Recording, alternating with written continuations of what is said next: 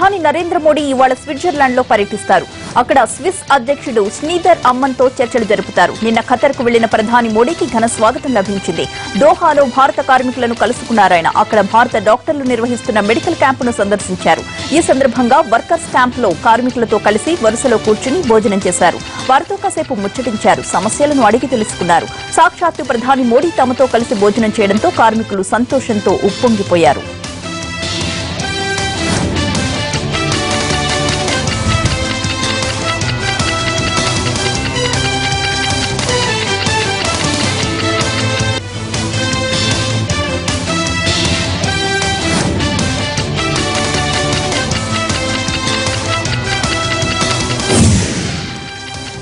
అంతకుముందు ఖతర్ చేరుకోగానే దోహా ఎయిర్పోర్ట్లో రెడ్ కార్పెట్తో స్వాగతం పలికారు. ఆ దేశ ప్రధాని అబ్దుల్లా బిన్ నజీర్ మోడీకి సాధారణంగా స్వాగతం పలికారు. ముందుగా వ్యాపారవేత్తలతో సమావేశమైన మోడీ పలువురు దేశాధినేతలతో సమావేశమయ్యారు.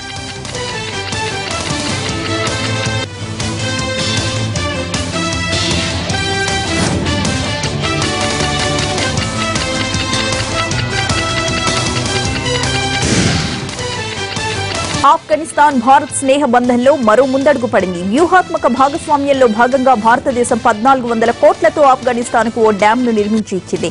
దీన్ని ప్రారంభించారు మోడీ. సల్మా డ్యాం గా పిలిచే ఈ ఆనకట్టకు ఇండో ఆఫ్ఘన్ ఫ్రెండ్షిప్ డ్యాం గా నామకరణం చేశారు. అనంతరం మోడీని ఆఫ్ఘన్ అత్యున్నత పురస్కారంతో ఆ దేశ ప్రభుత్వం సత్కరించింది.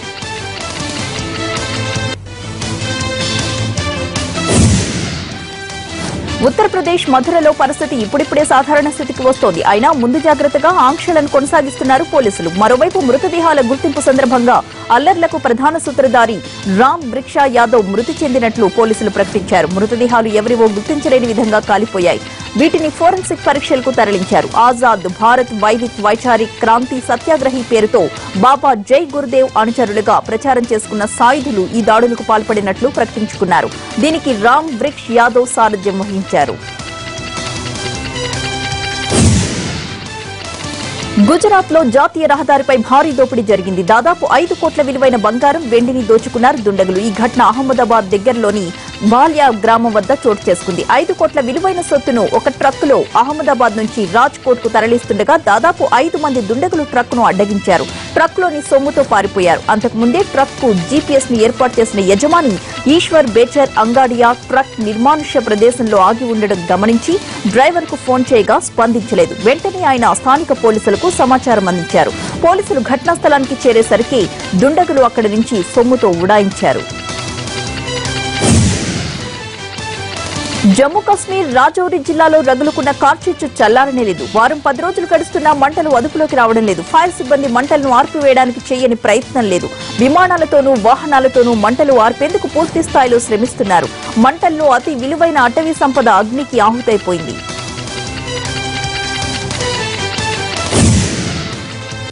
రిజర్వేషన్ కల్పించాలని డిమాండ్ చేస్తూ జాట్లు మళ్ళీ ఇవాటి నుంచి రోడ్డెక్కబోతున్నారు. రిజర్వేషన్ల కోసం భారీ ఆందోళన చేస్తామని ప్రకటించడంతో హర్యానాలోని అన్ని జిల్లాల్లో పెద్ద ఎత్తున భద్రతా చర్యలు చేపట్టారు. కొన్ని జిల్లాల్లో వన్ సెక్షన్ విధించారు. కొద్ది నెలల కిందట జాట్ల ఉద్యమంతో దిగి వచ్చిన ప్రభుత్వం వాళ్ళకు రిజర్వేషన్లు కల్పించింది.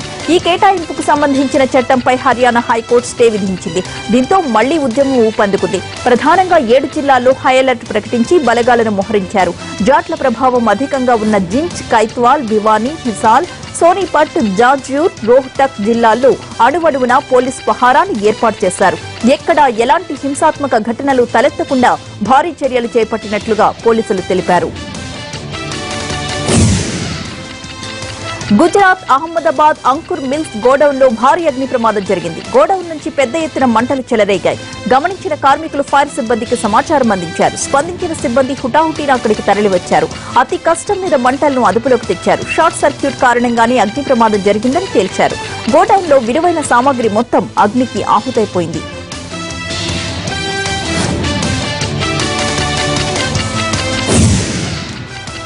జమ్మూ కశ్మీర్ సాంబా సెక్టార్లో ఘోర రోడ్డు ప్రమాదం జరిగింది. రద్దీగా ఉండే మార్కెట్లో వేగంగా వచ్చిన ట్రక్ ఒక మెడికల్ షాప్లోకి దూసుకువెళ్ళింది ఈ ఘటనలో నలుగురు అక్కడికక్కడే మృతి చెందగా పది మందికి తీవ్రంగా గాయాలయ్యాయి. వీరిలో కొందరి పరిస్థితి ఆందోళనకరంగా ఉంది.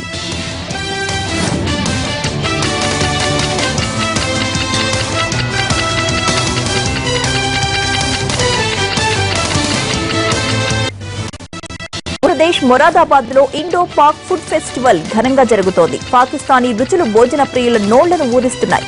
ఇక్కడి స్టాళ్ళలో వంటకాలు రుచి చూపించేందుకు అరవై మంది నిపుణులు శ్రమిస్తున్నారు. ఫుడ్ ఫెస్టివల్లో వంద దాకా స్టాల్స్ను ఏర్పాటు చేశారు.